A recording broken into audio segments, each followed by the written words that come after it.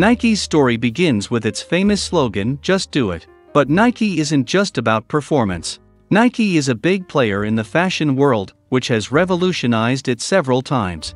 Nike's story isn't just about the swoosh, it's also about the many different ways this company was able to break into new markets. Nike has over 39,000 retail stores in over 120 countries, and you can find them on six of the world's seven continents. What is your biggest goal? For Nike, they wanted to be the best on the market, and today, they are a benchmark in quality. Join me in this video and see how one of the most influential sports brands in the world was created. Nike is a clothing and footwear company founded in the early 1970s in the United States.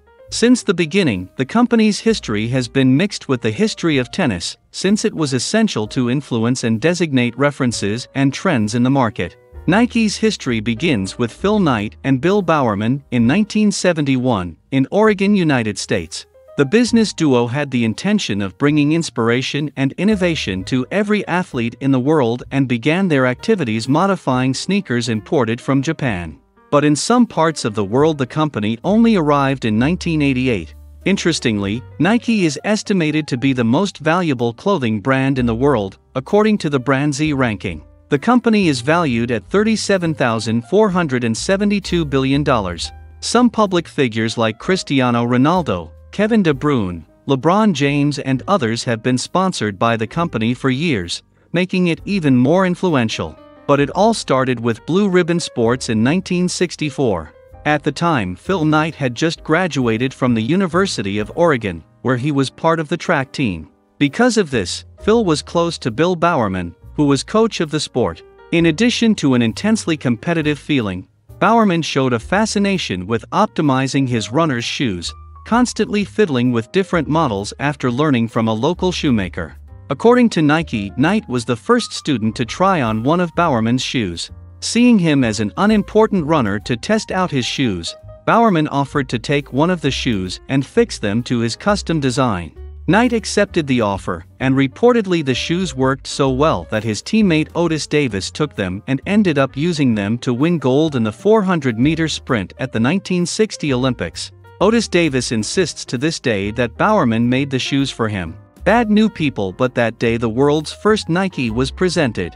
After graduating from Oregon, Knight went to Stanford for an MBA, but he didn't let go of his old flame. That's because he was still studying the production of running shoes, suggesting that Japan should be the new big hub for the market, rather than Germany. In this way, Knight decided to travel to Japan, where he managed to sign an agreement to import Tiger brand shoes.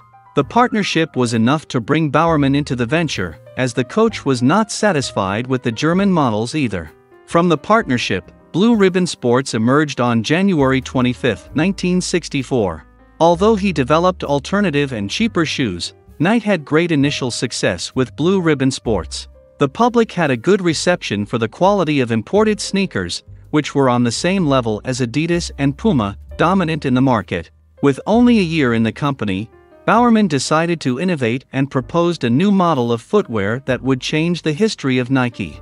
The idea was to offer better support for runners from a cushioned insole, as well as include sponge rubbers in the forefoot and upper heel, soft sponge, and in the middle of the heel, hard sponge. In addition, the new model would feature a firmer rubber sole. The new sneaker model took two years to be launched on the market and, in 1967, it hit stores as an immediate success. The success, however, troubled Tiger's Japanese. Knight argued that Tiger wanted to end its exclusive contract with Blue Ribbon, while the Japanese company accused Blue Ribbon of selling its own version of its sneakers under the Nike name. Tensions between the two companies prompted a formal separation in 1971. The separation came shortly after a lawsuit by Tiger, but allowed the two companies to sell their own versions of the new sneaker model. In this way, the same footwear could be found under the Nike Cortez and Tiger Corsair brands, which would become ASICS. The split also brought about a revamp at Blue Ribbon, which officially changed its name to Nike. At first, Knight thought about the name Dimension 6, but the inspiration in the Greek goddess of victory ended up being definitive for the choice of the new name. At the same time, the new company also needed a new brand sign. That's how Nike got to Carolyn Davis, a design student at Portland State University. The The job cost just $2 an hour, resulting in a total of $35 for the brand that has become one of the most popular in the world. However, a few years later, Phil Knight awarded 500 Nike shares to Carolyn Davis.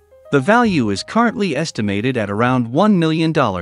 Nike's history has continued to replicate the success established by Blue Ribbon Sports. Shortly after the highlight of the Tiger Cortez model, Bowerman returned to revolutionize tennis history with the waffle design concept. Over breakfast, the coach observed the ridges of the waffle he was eating and got the inspiration for a new sole. Bowerman thought about how those marks would be inverted and decided to pour molten urethane into a waffle iron. The first attempt failed, but the coach did not give up and managed to optimize the sole. The new sneaker model was the first big hit in Nike's history, following the company's revamp. From there, growth never stopped, securing Phil Knight millionaire status in 1980. In addition to the revolutions in tennis models, Nike's history also has important support from athletes and celebrities such as Tiger Woods, LeBron James, and Kobe Bryant. But the most prominent name in the company's history was certainly Michael Jordan. Even before having his first season as a professional player, in 1984, the athlete was sought after by the company. Jordan, however, had never worn a shoe from the brand and was seeking a contract with Adidas. The turnaround came after Nike offered a five-year, $500,000 a year contract, two Mercedes cars and custom shoe models according to the athlete's requirements. Interestingly, the profits don't stop for Jordan, who makes about $100 million a year in royalties from the partnership. Ultimately, the deal proved extremely profitable. Jordan established himself as one of the greatest players of all time and even developed his own footwear line, Air Jordan. By the end of 1985 alone, the line had earned over $100 million. Even today, Air Jordans are among the top models produced by Nike, leading to a turnover of $2.8 billion in 2018 alone. In the world of football, Nike only had considerable growth when it decided to enter the field and sponsor the Brazilian football team in 2002. Coincidentally or not, Brazil won the World Cup that year making the brand more recognized worldwide. Within the history of Nike, there is a lot of controversy about its labor practices, but it's not my place to give you the wrong news. According to the company, Nike's mission is to bring inspiration and innovation to every athlete in the world. For this, the company is based on a culture of inventions, aiming to offer positive experiences for today's athletes through the creation of products and services while seeking to develop improvements for the next generations. If you liked this video, leave a like and subscribe to the channel in gratitude for our work. And also enjoy and watch some of these videos that are appearing on your screen. Thank you so much for watching until the end.